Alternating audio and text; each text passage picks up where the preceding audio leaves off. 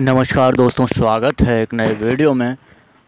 मेरा नाम है आर्यन और आप देख रहे हैं आपका अपना YouTube channel Aryan help and tricks और ये वीडियो है घुंगड़िया रेलवे स्टेशन का और लगातार जो है मैं इन रूटों की जानकारी आप तक जितना बन सकता है, उतना पहुँचाने की जो है कोशिश करता रहता हूँ। और दोस्तों, आज जो है तीन नंबर प्लेटफॉर्म और चार नंबर प्लेटफॉर्म पे नया कामों का ब्यौरा देंगे और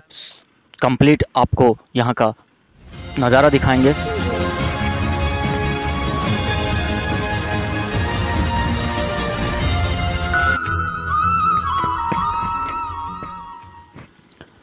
तो दोस्तों, यहाँ पे जो है तीसरे और चौथे नंबर का प्लेटफॉर्म जो है घुंगड़िया रेलवे स्टेशन पे, उस पर जो है काम जो है वो वापस से तैयार कर दिया है। जैसे कि पिछले वीडियो में मैंने आपको बताया था कि यहाँ पे दो नंबर का प्लेटफॉर्म जो है, उसकी ढलाई का काम जो है वो शुरू कर दिया गया है और यहाँ पे तीसरे नंबर का, चौथे नंबर का प्लेटफॉर्म जो है, उन दोनों के बीच में नाले का निर्माण का जो काम है, वो भी यहाँ पे लगभग आधा काम हो चुका है और बाकी का काम जो है वो यहाँ पे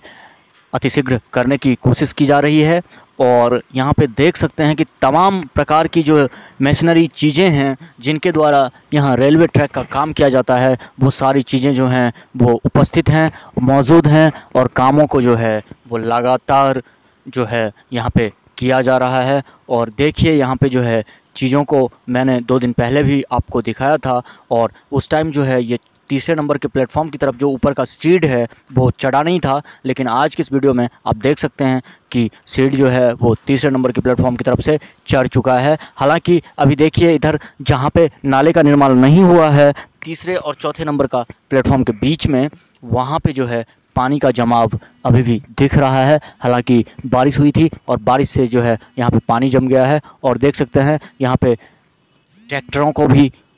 जो है काम पे लगाया गया है और मिट्टी या किसी भी प्रकार की वस्तु की कहीं पे रिक्वायर्ड है, ज़रूरत है तो यहाँ जेसीबी के द्वारा जो है ट्रैक्टर में भरा जाता है सामानों को और फिर वहाँ पे, जहाँ पे उन वस्तुओं की ज़रूरत है, वहाँ तक पहुँचाया जाता है और ये देखिए, ये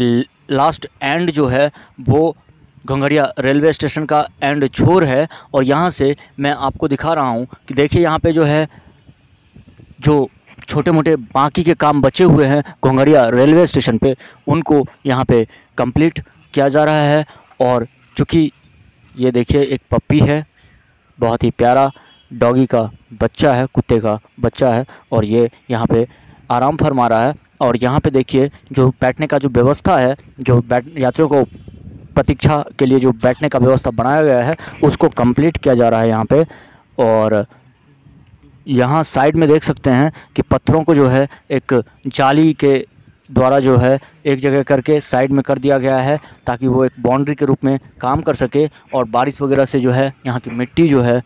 स्टेशन का वो ढह के नीचे की तरफ़ नहीं जाए। हालाँकि ये काम अभी अधूरा है लेकिन आ, लग रहा है कि इसको पूरा किया जाएगा। और यहाँ पे देखिए सेम यहाँ पे जो है, अलग तरीके का जो है यहाँ पे टाइल्स बिछाया जाएगा, क्योंकि यहाँ पे यात्रियों के प्रतीक्षा के लिए जो है बैठने का व्यवस्था बनाया गया है और ये कंप्लीट एक नंबर रेलवे स्टेशन जो प्लेटफॉर्म है घुंगड़िया रेलवे स्टेशन का, उसका नज़ारा है यहाँ पे और